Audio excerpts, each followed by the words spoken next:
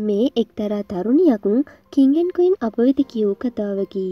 මේක මේ ළඟදි මට බස් එකේදී මුණ දෙන්න සිදු වුණ සිදුවීමක්.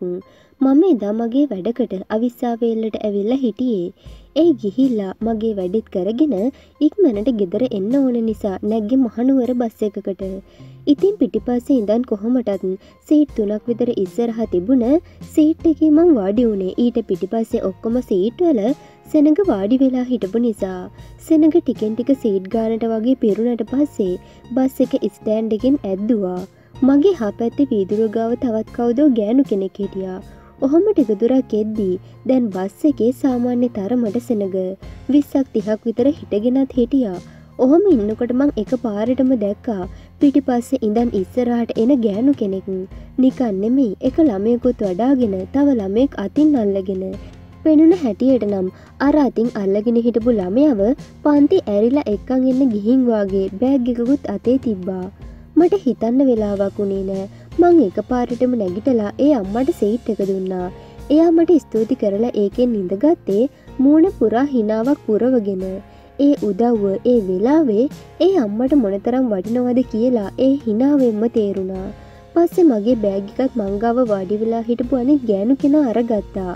මට පුදුම ඒක නෙමෙයි. මේ තරම් ඉස්සරහට එනකල් මේ අම්මට සීට් එකක් දෙන්න කවුරුවත් හිටිය නැද්ද? මං නිකමට වගේ පිටිපස්ස බැලුවා.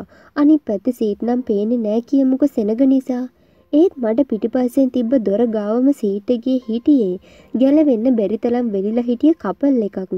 ඊට ඉස්සරහ තවත් ගෑනු දෙන්නෙක්. ඊටත් ඉස්සරහ පිරිමි කෙනෙකුයි ගෑනු කෙනෙකුයි. දෙයනේ මේ කාටවත් මේ මනුසයා පෙනුන් නැද්ද?